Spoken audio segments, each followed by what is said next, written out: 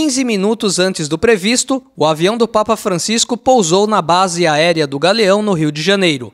Carismático, o pontífice foi recebido pela presidente Dilma Rousseff e pelo comandante da base, Coronel Flávio Luiz de Oliveira Pinto.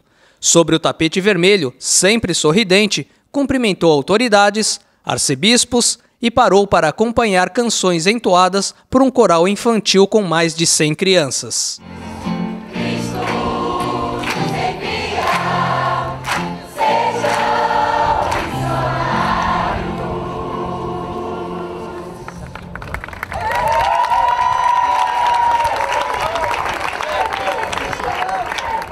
Para a base foi muito importante participar, recebê-lo. Espero que realmente a visita dele, a estada dele aqui no Brasil, seja coroada de sucesso, como foi aqui dentro da Base Aérea do Galeão.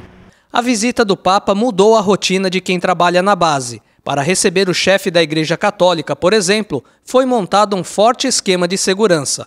Pelo menos 600 militares estiveram envolvidos direta e indiretamente no evento. O planejamento normalmente ocorre com reuniões aí a partir de oito semanas de antecedência às vezes até 12 semanas de antecedência. Neste caso, com o Papa, né, nós estamos trabalhando junto com o Ministério da Defesa, integrado ao CML, né, e por vezes o Comitê de Organização Local, que tem a sede, a Secretaria Extraordinária de Grandes Eventos, que acaba coordenando os órgãos públicos. Para jovens como o soldado Jonathan Gomes, que participou da ala de recepção, a proximidade do Papa Francisco, ainda que por poucos minutos, foi uma experiência única. Um momento especial e único na minha vida, né? Nunca esperava fazer uma coisa de tal importância que vai passar para o Brasil e para o mundo. Então estou muito feliz com, a, com essa oportunidade que me deram. Após uma rápida recepção na sala de autoridades, o Papa Francisco deixou a base aérea do Galeão com sua humildade característica.